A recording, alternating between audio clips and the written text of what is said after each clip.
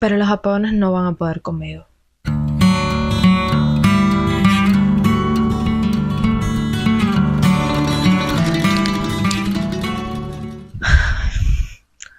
Hola panitas. Este, este video es bastante diferente. Mi contenido es un contenido bastante alegre, creo yo, o al menos eso es lo que intento. Hoy es lunes y durante el día de hoy solo he tenido alrededor de 4 o 5 horas de corriente. Voy a aprovechar esta situación, que es una de las peores situaciones que afronto en mi vida cotidiana, para contarles cómo está siendo este proceso de crear contenido, de ser youtuber aquí en Cuba. Bueno, crear contenido, porque ustedes saben que yo siempre estoy muy activa en Instagram también. Aquí cuando no hay corriente, tampoco hay conexión. Como ustedes saben, yo lo hago todo con mi teléfono, yo dependo de la conexión, dependo de la batería de mi teléfono. Y es muy difícil.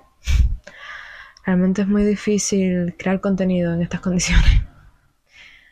Pero los apagones no van a poder conmigo.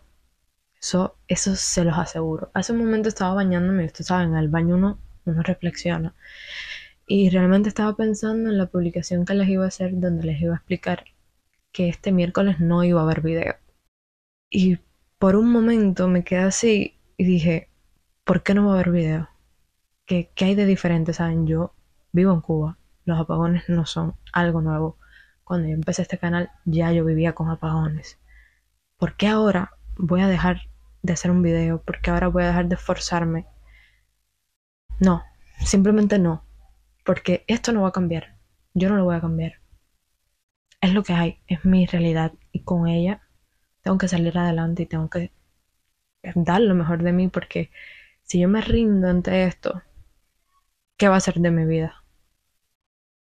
No, no puede ser. No creen para nada que estoy siendo conformista ni nada por el estilo, para nada. Estoy siendo todo lo contrario. Yo lo siento muchísimo por la corriente, pero conmigo no va a poder. No va a poder. Para los que no me conocen, mi nombre es Katy, vivo en Cuba. Esta es mi parcela de YouTube.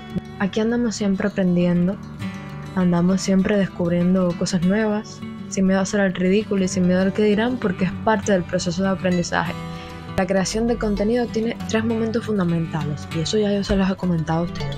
La preproducción, la producción y la postproducción. Entonces vamos a analizar etapa por etapa, pero no lo vamos a hacer todo aquí en, este, en esta escena de, de apagón, no, no, para nada. Yo les voy a bloguear lo que hago entre hoy y mañana y les voy a ir contando. Ahora, aprovechando que no tengo corriente ni nada que hacer, les voy a contar cómo es mi proceso de preproducción. En esta agenda tan maravillosa, tan preciosa de The Office, nacen los guiones de mis videos. Lo primero que tengo que hacer es tener la idea. Debo decirles que esto para mí no es complicado. No siento que todavía me salga forzado. Me gusta pensar en ideas locas y retarme en plan, a ver, ¿qué se te va a ocurrir ahora? Y como eso como que confío mucho en mí en esa parte porque siempre se me ocurre algo. Después que ya tengo identificada la idea, ¿Qué es lo que les puede proporcionar esa idea a ustedes? Empiezo a anotar los aspectos fundamentales sobre ese tema. Sobre eso escribo ideas fundamentales muy básicas para que cuando vaya a grabar no se me olvide nada y bueno, las desarrollo en cámara. Realmente no me aprendo nada de memoria, no me gusta. Si el video implica trasladarme hacia otro lugar, tengo que coordinarme en tiempo y espacio, porque ustedes saben que yo estudio, estoy en la universidad, estoy en el último año de mi carrera. Además, voy al gimnasio, es religioso, es importante en mi día a día y tengo que organizarme en ese aspecto. Además, tengo otras obligaciones en mi vida, en mi casa. Ya voy a comer, miren, con gris, que ya saben que no me gusta mucho por los frijoles, yuca, boniato, no sé por qué yuca y boniato, supongo que quedó ahí, y pescado frito, o manjar. Hay videos como este, por ejemplo, que no tengo para nada guionizado, va saliendo, va fluyendo, porque bueno, es un estilo blog y sé muy bien lo que les quiero decir, entonces no tengo la necesidad de escribirlo. También les digo, no estaría de más. Tal vez si me organizara, lo haría mejor. Pero bueno, vamos aprendiendo, vamos aprendiendo y de los errores se aprende. No me lo puedo creer, acabo de llegar la corriente. Miren esto, qué casualidad. Bueno, eh, ustedes no me dejarán mentirles, el ventilador incluso se encendió. pues sí, ya llegó la corriente, entonces mañana tengo una prueba, me voy a poner a estudiar, de ahí me cepillo me acuesto dormir porque me tengo que levantar bastante temprano.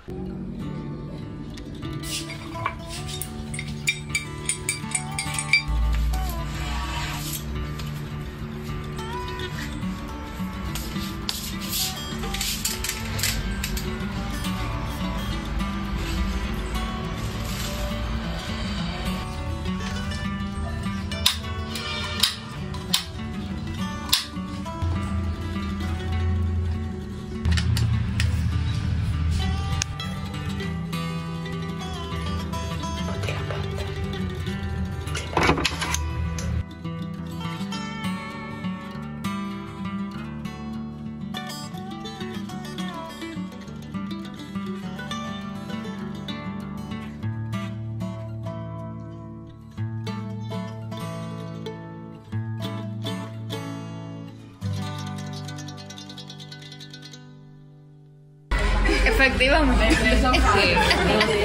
¿Qué está haciendo esa niña? Ajá. Seguridad. ¿Algo más? Esto es que tiene grabación. Saluden ahí.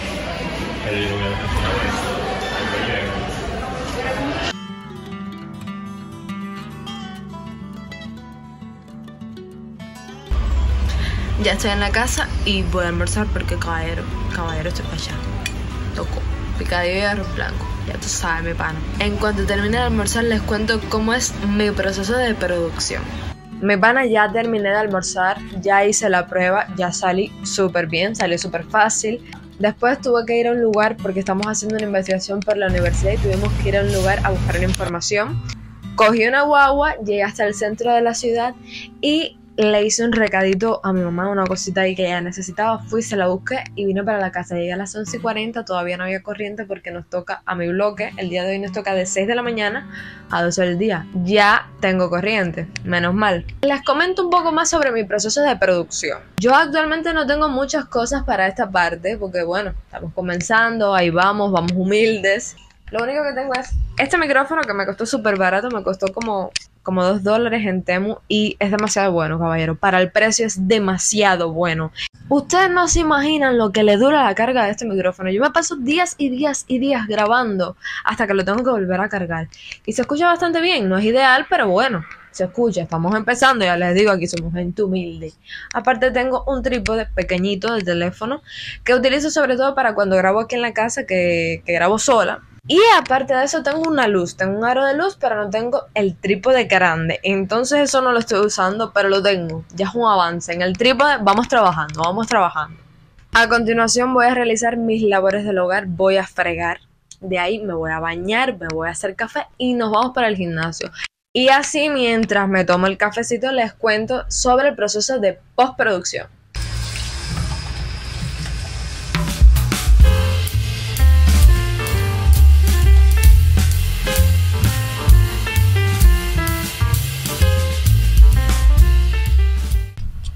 Panitas, ustedes no saben lo que a mí se me había olvidado contarle. Otra cosa que cambió mi día, miren para acá. Hoy cobré y hoy mismo lo voy a gastar. No, en precio no voy a preguntar, no sé, no me acuerdo. cobré el estipendio, ¿eh? Mira, qué nivel, Maribel. Tres meses me debían, tres meses me debían. Eh, yo como estoy en cuarto año me pagan 400 pesos mensuales. Entonces ahí hay 1200 porque me debían tres meses. y pues hoy cobré y hoy mismo los voy a gastar porque tengo que pagar el gimnasio. Y ustedes saben que el gimnasio a mí me cuesta mil pesos. Y bueno, vamos a hablar de mi proceso de postproducción. Y si me preguntan, el más duro, el más difícil. Pero antes,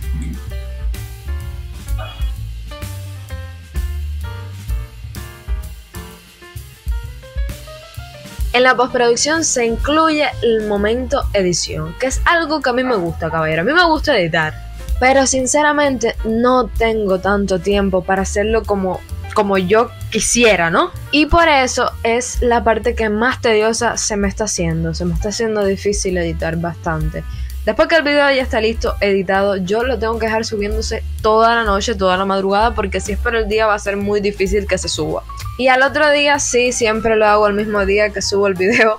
Hago la miniatura, las etiquetas, pongo los subtítulos, hago la descripción, le pongo los enlaces, todo eso. Básicamente configuro el video para que YouTube lo entienda y se los muestre a quien se los tiene que mostrar.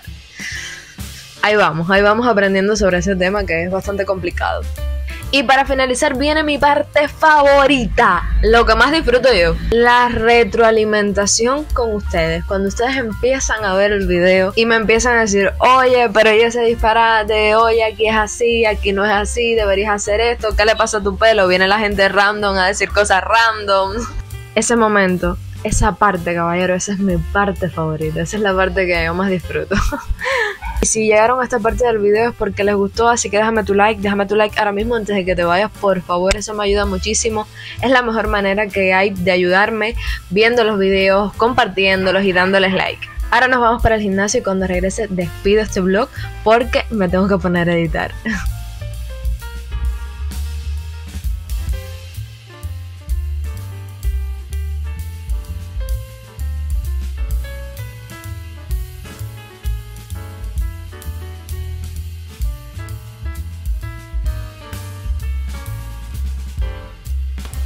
Se ha llegado al gimnasio, mis panas. Destruida estoy, destruida por la vida, por los apagones, pero aquí seguimos, se dio todo. Miren cómo ando.